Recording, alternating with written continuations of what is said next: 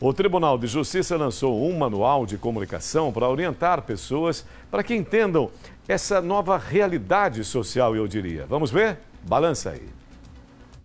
A reunião presidida pela desembargadora Ana Lúcia Freire, que é coordenadora do Comitê da Equidade de Gênero e Raça do Tribunal de Justiça de Sergipe, marcou o lançamento oficial do Manual de Comunicação LGBTQI APN+, que traz como título Respeitando todas as formas de existir.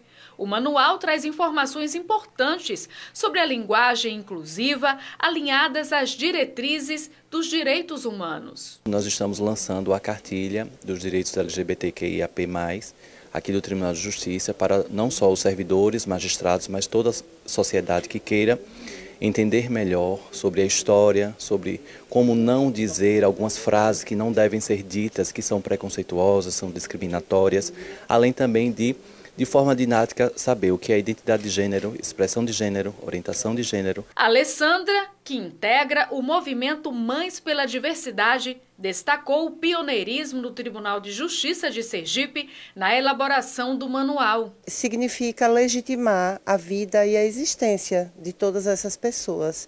Então, essa aproximação com o Tribunal de Justiça representa mais do que em qualquer lugar que a gente possa estar é, é de grande valia, é de muita, muita importância. Nós, enquanto população LGBTQIAPN+, passamos por diversas violências, né? O Brasil segue liderando o ranking de assassinatos e violências, então essa cartilha vem no sentido de mostrar mais dignidade, é, fazer com que a nossa população seja vista né, e que tenha todos os direitos garantidos.